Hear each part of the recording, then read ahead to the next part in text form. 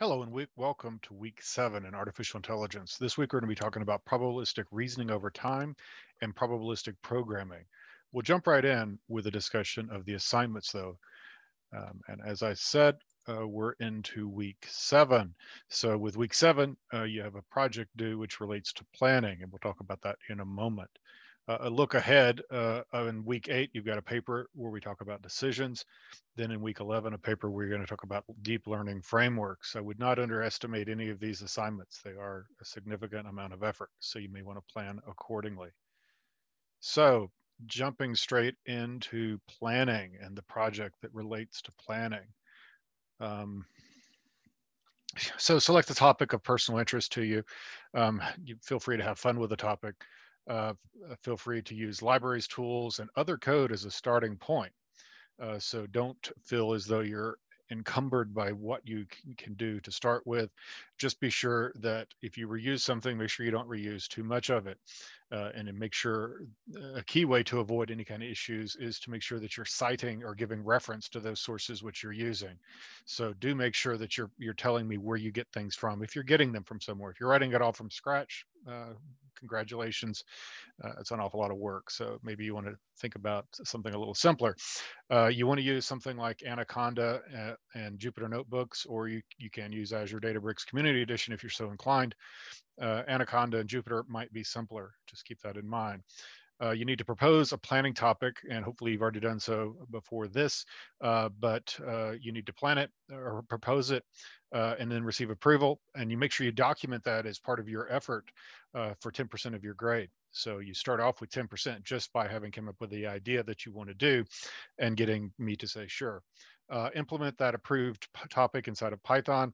Again, 40% there and then the overall document uh, is 50%. And so that's kind of to some extent almost uh, uh, a greater percentage than that if you consider the 10% for the planning. Also, that should be evenly split amongst those four domains, so 12.5% apiece. Uh, so uh, me being a math guy, 50% uh, is obviously 10 and 10 and 10, right? So there are four tens there. Anyway, moving on. Uh, jumping into the discussion for this week, choose a topic that's related to this week's reading, define and describe, and provide a real world example of that topic. And then moving on, uh, as always, these are some useful references for this course. Uh, these are associated with the textbook that we've been using. So feel free to take a look there. And you may also want to take a look there because there's an awful lot of source code. Uh, and you might even find something perhaps that relates uh, to planning. Um, moving into probabilistic reasoning over time, which is chapter 14. Uh, we start off with the, the, the discussion of time and uncertainty. So your basic idea here is that it's not a static world in which we live. Things change over time. Uh, and you need to be able to keep track of what's changing. You also need to be able to predict what's going to change. This is true in the real world as it is if you are a person or if you happen to be some sort of autonomous agent. So uh, you can't just assume that the way things were is the way they'll be forever, right? So uh, you basically need to state, save some state uh, and the evidence variables for each time step and however granular you're making that time set. So x sub t is a set of unobservable state variables at time t. Um, and so they, they may be things like your, your blood sugar at time t, uh, which will change over time depending upon if you're exercising, eating, sleeping, or whatever. Uh, evidence sub t, so E sub t, is something you can actually observe. That is the evidence of the variable at time t. So you have an unobservable thing uh, that is the state, the true thing that you're interested in. That's that's x uh, and you have some way that you can actually have evidence that tells you what you think that might be. So that's that's what evidence is, evidence sub t. So measured blood sugar, uh, it should be hopefully an indication of what your actual blood sugar is at the same uh, element, the same values for t. And this is, assumes discrete time steps, uh, and basically uh, the the discrete time and the size of the step depends upon uh, the problem notation. So basically, the idea here is that uh, you should have uh, evidence from one to three that corresponds roughly to X uh, at those same sort of units. Uh, and you're going from A to B, uh, which um, maybe one to three. Uh, so you're going to start from end at b you're going to before b is b minus one and b minus two and so on assuming that you're you're large enough that you're not getting back into zero so that's the basic idea of, of capturing that information uh, this goes to the discussion of, of markov processes and markov chains not going to go into this in much detail understand they are a thing understand that it's a way of dealing with uh, things over time uh, and that it, it is something that you, you probably may want to spend some time uh, reading, especially if it's of interest to you. I'm not going to drain this. I'm not really going to talk about it much, but uh, do do the reading, do get some sense of what it's about. Again, we're in a survey course here. We're not doing a lot of low level uh, mathematical proofs and so on of this topic. There's, there's so many things in this course to talk about. We have to move pretty quickly. Um, and this is basically going through a similar sort of Bayesian network structure, talking about uh, uh, the dependency uh, distribution, conditional dependency distribution based upon uh, an umbrella world of if it's raining or not, if you should be using an umbrella uh, based upon the, the rain. And uh, you get t minus one, t, and then t plus one. It's a little grainy. Hopefully you can make it out. And then moving back to, again, we're talking about probabilistic reasoning over time in chapter 14, moving back down into the next section, which is inference uh, in temporal models. Uh, so you basically got some inferencing tasks, and there's essentially four of them, uh, I believe, uh, that, you, that you'll talk about in, or read in the reading. Uh, you're going to be doing some filtering, some prediction, some smoothing, and the most likely explanation. Uh, and that's where um, the, some of these filtering is is uh, the background there is coming from signal processing, so it's a little bit of a, uh, um, a misnomer in the name, but it's about determining essentially uh, the a belief state based upon input, right? Um, then prediction is kind of what you would think it would be. You're uh, you're like filtering, but without evidence. You're guessing what it's going to be to some extent. Guessing is probably not the right word. Um, and your smoothing is going to be around better estimating of past states and that you need that a lot of times for learning.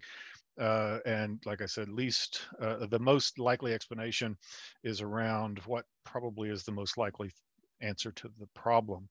Uh, digging into these uh, filtering uh, it's essentially a, a recursive state algorithm. Again not going to go over this in much detail. If you're really interested feel free to dig in. But the basic idea is what I described just a moment ago. Smoothing, again, uh, you got a, a, Markov process here with uh, some time events and evidence and uh, some some values, uh, and they, again, not going to drill into it much depth. And then moving into most likely explanation. Uh, so the basic idea is the most likely path to reach x of t plus one uh, is the most likely path to reach some x of t plus one more step. So it's it's kind of what you would expect, and it's relatively straightforward. Moving on to hidden Markov models, again, going to just skim right over this. Um, there, uh, it's around, uh, again, temporal uh, processing and this concept of a, of a domain of x sub t uh, and there's evidence of T usually, um, and you're uh, going from one to S, um, which is the things that are in the domain of X sub T, and basically transition matrix and a few other things. But again, not going to drain it. So be familiar that that is associated with probabilistic reasoning over time. When you need to know more about it, the same thing with these Kalman filters, you're going to drill into it if you need to know it. I'm basically painting the scenery for you so that you know what's where. Uh, and the Kalman filters, it's a, a, way of describing continuous variables. It's similar uh, to the Markov processes, but more around continuous. And you're dealing with Gaussian distributions. We'll talk about those more somewhat later on. Um, and basically it's it's keeping track of things uh, usually in some sort of a noisy sort of environment. Been around for quite some time as well. Uh, dynamic bayesian networks not going to talk about this much uh, i'm going to go through it pretty quickly but it's uh, basically the idea is that they're bayesian networks that change over time since the dynamic. And potentially the uh, the structure um, could potentially change on you and, and we're, you're going to want to try to avoid it if you can, but it, it may happen, hence the dynamic nature.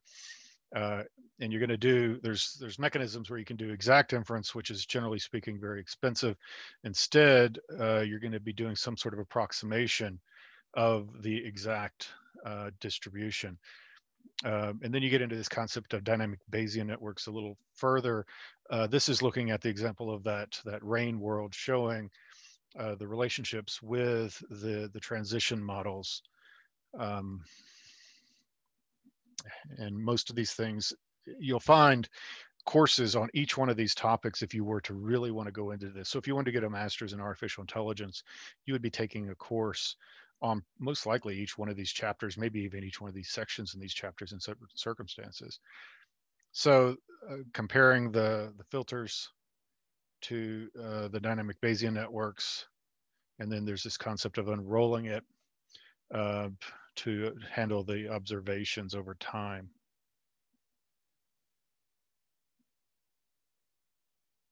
And then particle filtering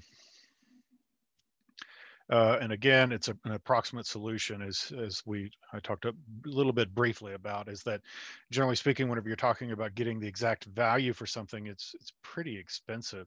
So instead we come up with ways of doing uh, representations that are close and close enough is the idea. Again, we're skimming over this stuff pretty quickly as you probably should whenever you're, you're doing your reading and so on. Uh, make sure that you have a, enough of a concept so that you can speak to what the topic is about. That's all we're really interested in, not so much the details of how you're going to do it. Um, unless it's a, an interesting area for you. So I'm keeping these things very high level, um, primarily because uh, I don't I don't want to bore you to death. Uh, probabilistic programming, kind of an interesting topic. Um, uh, so the the idea here is that you have this concept of um, uh, the we start off with a relational probability model, kind of similar to what databases are like, uh, but uh, in a closed world or uh, model, you assume that everything you don't know is false, um, and it makes life a whole lot easier that way. The there's some challenges with that.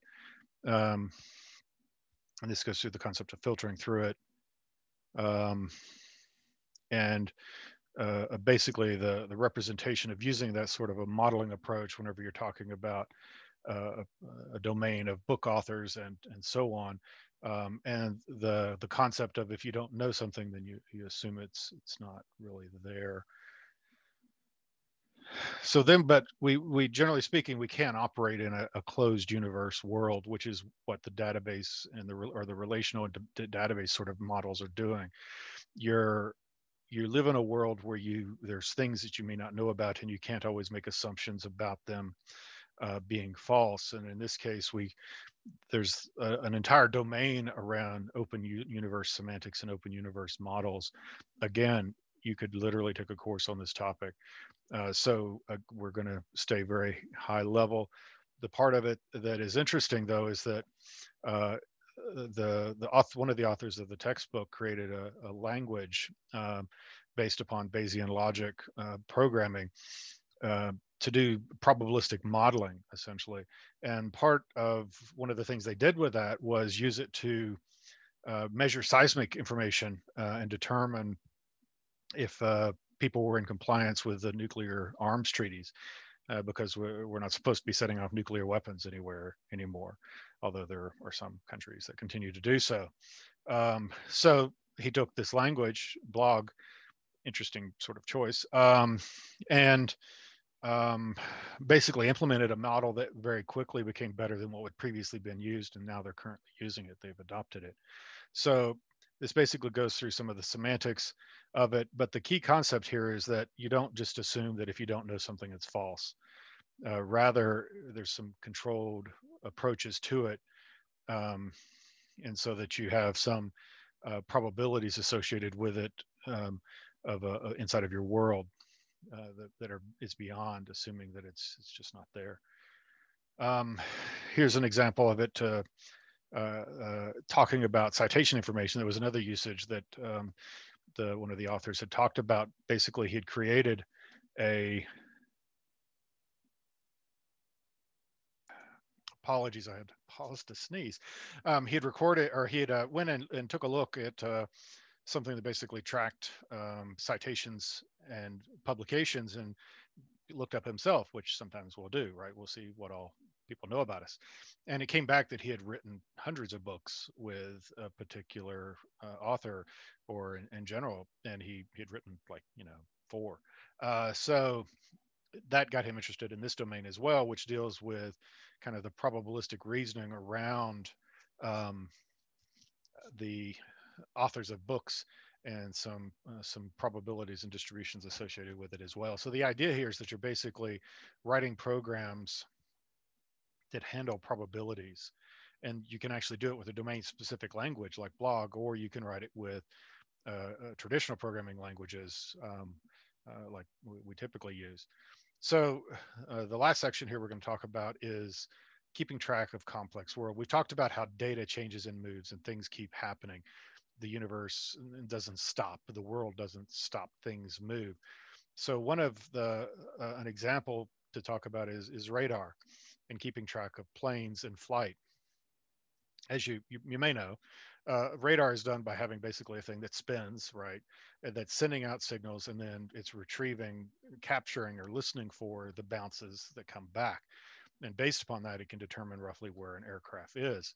They've gotten very advanced. They know roughly what the altitudes are um, and so on. But the whenever you're looking at a series of points, which is what you're seeing here in box A, uh, if you if you look at this as time across here, uh, going across the horizon, uh, you've got a bit a blip there at at points one uh, that is basically two things come back, and so you you assume that there's essentially two things in flight at that particular location, and this is looking at a particular location at, at a point in time, and you move time across the axis, and then you you hit it again um, so we've moved forward enough for probably a, rotation or whatever of the radar.